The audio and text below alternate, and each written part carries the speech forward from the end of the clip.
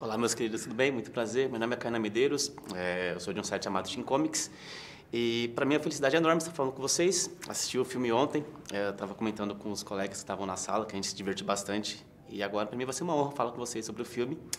Então é isso. Primeira coisa eu queria saber de vocês, uh, como é que foi participar dessa produção que mescla conteúdo científico, histórico, de modo tão criativo e muito lúdico? Lúdico, total. Total lúdico, uma Mas, brincadeira. É, vem, vem de uma série que ficou durante uh, seis temporadas fazendo um, grande sucesso na televisão. Apesar do filme não ser uma continuação direta da série, tem elementos ali, como a própria os próprios elementos científicos, a tecnologia, isso tudo acompanha a história de Perfecto, uma aventura da Escola de Gênios. É uma história que nada tem a ver com a, a série, apesar de ter esses elementos. Então, quem não assistiu as temporadas da série vai assistir o filme e vai entender é, perfeitamente não, essa história. Não é um spin-off, assim. Não é série. um spin-off da série. É uma história que faz alguma referência a série dentro da dramaturgia específica desse filme. E é um prazer, cara, poder fazer parte disso, né? Falar com esse público infanto-juvenil. Apesar de eu achar, a gente tem falado isso muito aqui, que é um filme para a família toda. Uhum. É um filme que aborda muitas questões, não só tecnologia, não só inteligência artificial, robótica, ciência, mas é um filme de relações. Importante. É, eu faço o Edson, que tem uma filha, que é a Nano, e eles não conseguem é, se relacionar muito bem. Ela tem alguns traumas e ele tenta proteger essa filha de alguma maneira. E uma das formas dele tentar proteger essa filha é criando esses bots junto com ela, que um deles é o personagem do Roberto, e que é um personagem maravilhoso, cara, incrível, e que se relaciona muito bem com essa filha. Então você vê o que, que a volta que ele precisa dar para ela se. Oh, oh, se... Go, go! Se relacionar com ela.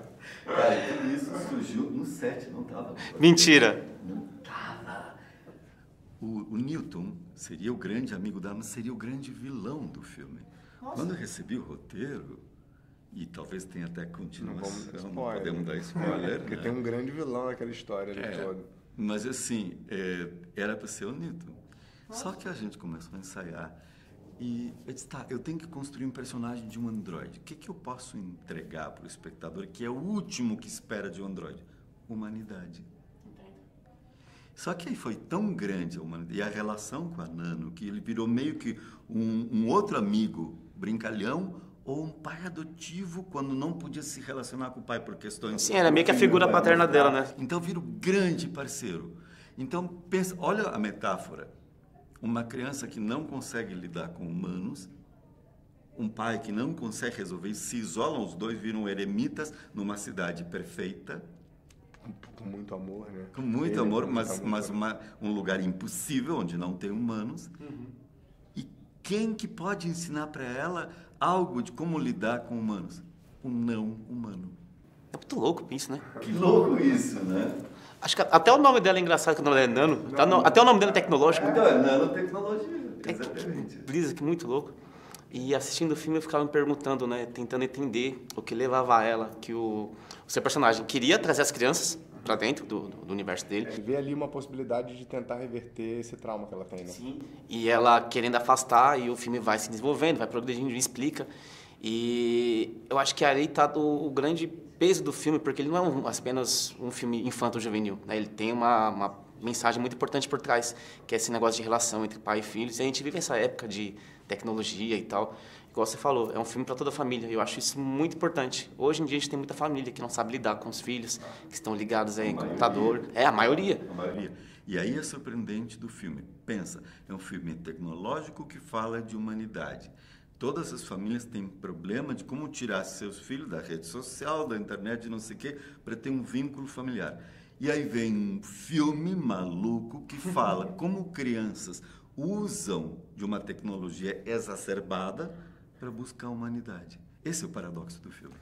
E uma das coisas que eu acho que vale a pena a gente lembrar é como a gente discute isso, porque eu acho que vilanizar a tecnologia também é um erro. A gente precisa dela. Sim. Ela veio para somar, né? A gente precisa saber se relacionar com ela e utilizá-la da melhor maneira possível. E a gente vê isso no filme. Isso é posto inclusive com os problemas que aparecem ao longo do filme. Pois é. Né? ah, vírus e, e, como as coisas vão atravessar os atravessamentos dessas, dessas, dessas relações em relação à tecnologia. Muito legal a gente enxergar toda essa profundidade, mesmo num filme, como eu falei, infanto-juvenil. Agora, uma das coisas que eu comentei com o pessoal que estava na sala comigo, é... vendo o filme, vendo a, o, o plot do, do, do robozinho que estava com vírus e tal, sem querer dar spoiler para o público, mas eu pensei assim, olha, é, o pessoal lá fora tem o Eu Robô do Smith, a gente tem o Perfecto, que é basicamente a mesma história, você parar para pensar. Mas no final a, a saída foi bem diferente, é muito legal. Mas é bom, uma coisa vocês já resolveram, porque eu dei uma olhada nas redes sociais por aí para ver o que o pessoal estava esperando do filme. E o pessoal queria saber onde encaixava esse filme. Vocês já explicaram em que parte da história encaixa esse filme. Não é um spin-off, é, é uma história adjacente, mas que quem não viu a série pode ver o filme sem problema nenhum. Vai correto? Perfeitamente. Agora, eu queria saber de vocês, como é que foi vocês estarem dentro de uma história cheia de personalidade assim, é, histórica, por exemplo, do nada tem um Tesla, é, do nada tem um Machado de Assis. Fala para mim como é que foi isso É maravilhoso, né, cara? é uma ideia do que seria ele, porque é um Android, né? é, um, é um bot, né? Muito louco isso. Mas é muito legal. Eu, eu acho que isso é uma das características que, que a gente via na série, porque é muito educativo também, uhum. e que eles trouxeram para o filme. Então é um filme que tem muitas referências a grandes personalidades, a grandes nomes dois gênios brasileiros. Dois gênios. Machado de Assis Santos Dumont, entre outros.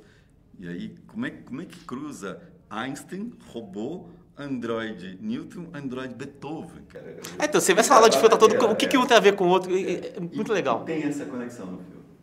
Agora, fala pra mim, quem que vocês acham que faltou de personalidade que eles podiam ter colocado no filme e não colocaram?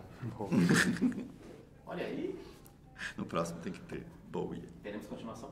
Não sei. Falaram, comentaram. É, já... Interessante, interessante. Será? Eu li uma cena do Newton original, que seria a passagem é, Roberto. Mas, então, quem sabe? Quem sabe? É. Não podemos saber ainda. Não podemos saber ainda. Não. Então, é, a gente vê ali no filme, né, o, apesar de você já ser uma grande estrela e tal, você lida com várias estrelas mirins. Eu queria que você desse uma dica para as crianças que estão querendo ser jovens atores, que eu acho muito importante ser para alguém já bem estabelecido, vocês dois bem estabelecidos na carreira, falando para novos talentos. Cara, eu, eu, eu não vou dar uma, eu não vou dar uma uh eu não vou falar o que eu acho que, que, que poderia ser uma, uma um, um conselho, alguma coisa nesse sentido.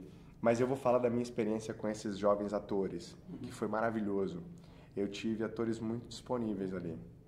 É, eu acho que quando você tem isso em cena, é o que o ator precisa.